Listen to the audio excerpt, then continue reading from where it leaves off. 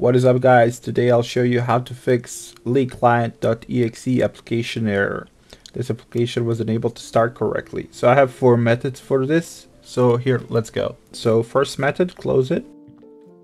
Click search, right click on League of Legends, open file location, right click on League of Legends, click on properties, go to compatibility, and click run this program as administrator.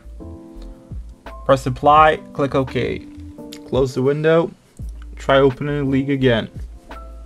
Log into the league, click play. Let's see what happens. If this doesn't help, let's try the second method.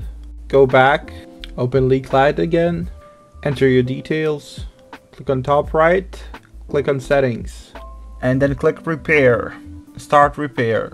This way, take a while, not long, but let it finish and then try again. Click OK, close the window, click play.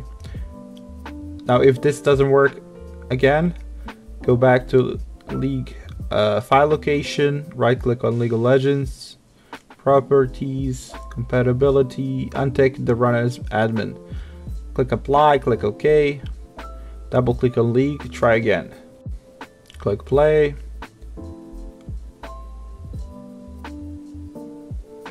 Now if this doesn't work, here's the tip. You can either reinstall League of Legends, right click on it, go click and uninstall, type in League, and then three dots, uninstall. But I don't want to do that. Here's the fourth tip. You just restart your PC and it should work.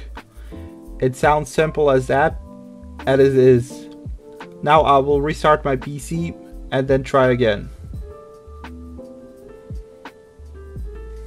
Click play.